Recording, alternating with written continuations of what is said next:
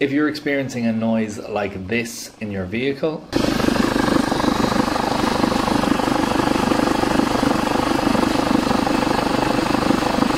I'm going to share with you in this video what that noise was caused by, how you're easily able to diagnose it, and what the actual purpose of that part is. Okay, so I decided to make this video for two reasons. The first reason is the amount of misdiagnosing that happens with this type of fault.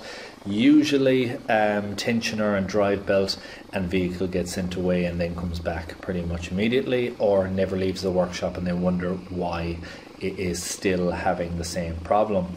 Second one is I did make a video on this previously, but I was more specific to Volkswagen and that one. And this type of problem is not just Volkswagen Audi related. It's in many many different vehicles now this type of setup. So I decided again I would share knowledge and maybe go into a little bit more detail as to why they're in the vehicle. So I'm going to try and make this as short and sweet as possible so I'll run through this quickly. First and foremost fault is the alternator pulley.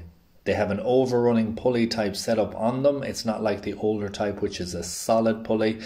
And what that overrunning pulley is, is a one way clutch.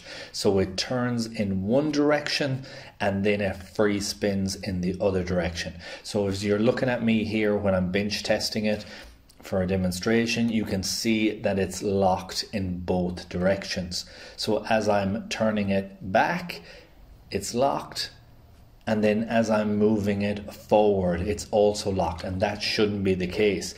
As you can see here with the new alternator, it doesn't do that. It spins nice and free in one direction and then it's solid in the other. Now that puts additional forces on the drive belt, which then causes a tensioner to potentially fail and the drive belt to also become frayed depending on how long it's been doing it. So the question that a lot of people have is why are these in a vehicle in the first place?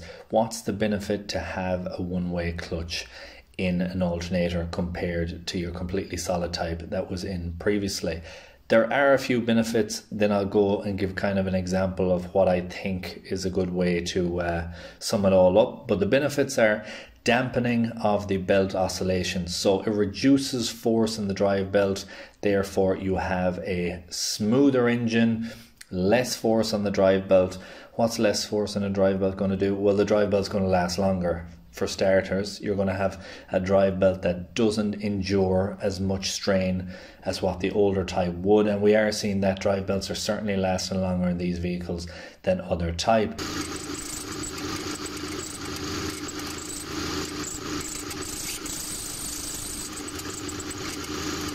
Um, improved noise, so you might have a smoother idle and uh, a smoother engine overall as you are getting them. Um, so if you're driving along, accelerating heavily, and then decelerating suddenly, it allows the alternator to freewheel in uh, in that instance. So it reduces the force level in the drive belt as that's happening. Now, in a kind of comparison.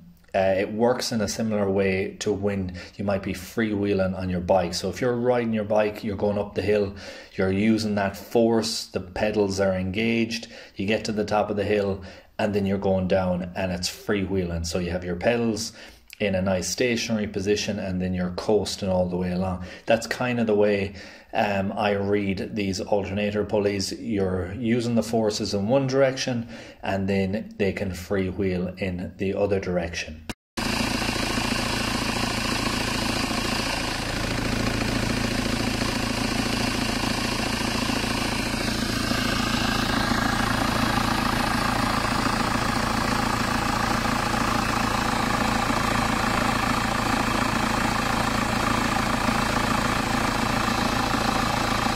And that is pretty much it for this video guys, a nice short and sweet one. If you have that type of noise present in your workshop or you have it on your own vehicle, just listen to it, gather that information. That is a common noise that you will hear. That roughness, that additional force, that tensioner hopping up and down is a common telltale sign that you have an overrunning pulley alternator setup. A very quick way to do that is talk to your parts department uh, talk to a supplier and check if your vehicle has that type of one in it. If it has, you have the potential to get the pulley on its own. You might need a kit to actually do the replacement on it.